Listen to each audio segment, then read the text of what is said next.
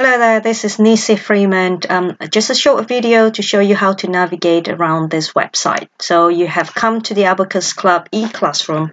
This is the online platform that has been used by all our students to complete their online homework. First of all, you should have received uh, your username and password. If you haven't, you can create your own new account here.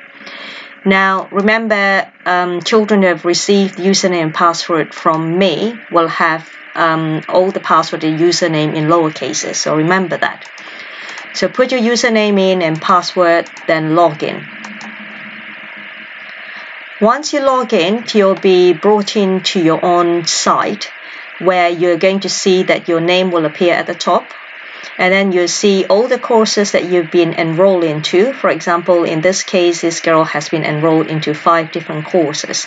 So let's take, for example, one of the courses. You can either access your courses by clicking on the blue link here, or you can go to this here, my courses here, which will display exactly the same thing. So it'll be faster here. So let's see if we click on this flamingo one, for example. Now, once you click on it, you're going to be taken into your course page. This is your course page now.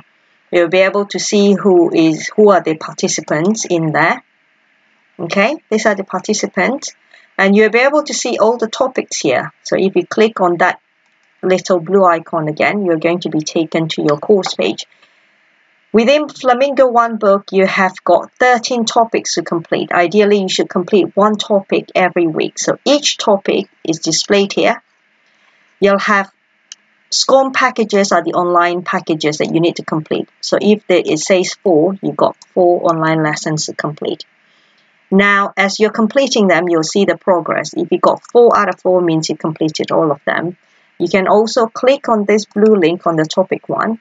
It'll take you to all the lessons you need to do. You see, if you hover hover your um, mouse over this, you'll see a hand there. That means you can click on it and the lesson will appear.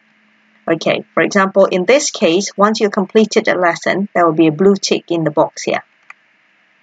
If you haven't completed them, then there won't be any tick here and you will not be able to go to the next topic. Then when you click on the next topic, nothing might appear. So in this case, to start a lesson, you click on this, on the blue link, the orange boxes, okay? You can also access all this lesson on your tablet too. And you just have to type in uh, the answer and then click next there. And then to go on to the next one, you need to click on in there. And then once you finish, you can actually click submit all here. Don't forget to click submit all. Now, once you complete, click submit all, then it will show you either you pass or not. Okay, you can do attempt this lesson as many times as you like because it will just take the higher score. Now, if you're ever not sure what you've done, you can always go to course administration on the left and go to grades and it will show you everything that you've done or what you have missed. For example, in this case, this girl has missed this lesson. Look, it's 0%. And that didn't pass either. So if you've got that, you need to redo them and pass them. And to go back out to the course page, just click on that. Okay. And don't forget there is an unsung booklet here which you can click which will show you what you need to do for that particular course. Not every course will have this. This is only for certain children.